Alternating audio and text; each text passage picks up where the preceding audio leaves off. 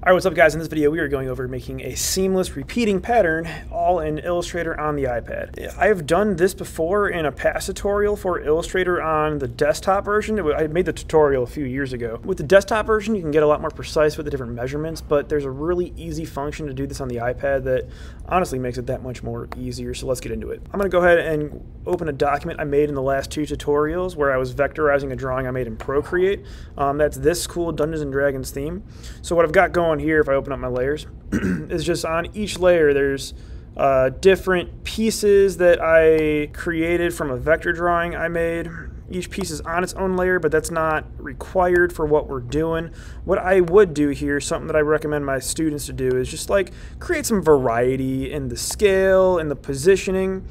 I'm not going to be too attached to the positioning in this document. I'm going to be able to change all of that later. I'll show you what I mean.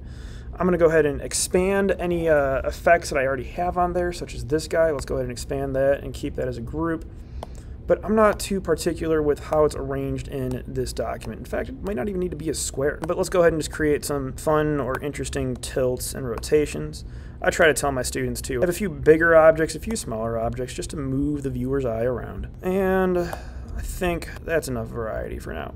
So what I'm going to do is I'm going to copy and paste all of this into a new document, including the background color. So let's go ahead and grab all that. The scissors over on the right lets me copy appearance.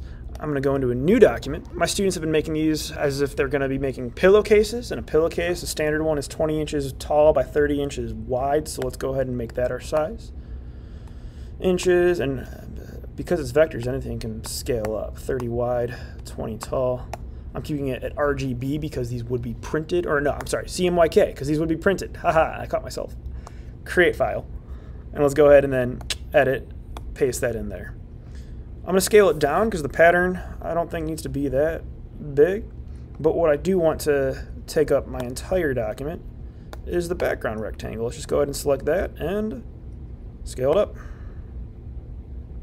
I'm to lock that background layer so that I don't accidentally click on it.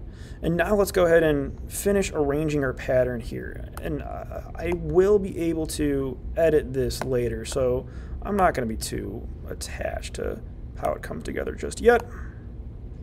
That looks nice. All right, so here's the cool and easy function. If I select all the pieces that I want to be in the pattern, down in the bottom right, we have our repeat functions, one of which is the grid. I showed the mirror in the last one. And if we click on that grid, bam, there it is. There's a repeating pattern. A few ways to tweak this now, right? the, uh, the corners from the bounding box, I can choose how big or how small my pattern is. The larger uh, white bars, if I click and drag those, I can change how much it repeats on my given composition. I'm to go ahead and make that take up my whole screen. A few other things though, is I have these arrow sliders on the top and the left side. If I click those, I can change how close the pattern is to like on its proximity. I'd recommend not having things overlap too much. Leave a little bit of space, that's nice, but that's really it. Really cool though, one more, like, like one other function, is that, like I said, I'm not too attached with how I position things in the original document because if I double tap on any object here, I'm gonna double tap, I can move it around, and if I move it around in one of these grid spaces, it moves in every other grid space as well. Let me show you on a bigger object. If I double tap my wizard hat, double tap my wizard hat. Here, let's grab this one. I can move it on one, and it moves on all of them. So I can rotate, I can adjust my pattern entirely from there on out. So a few other things, right? You could export this as a JPEG or a PDF, however you're trying to save it.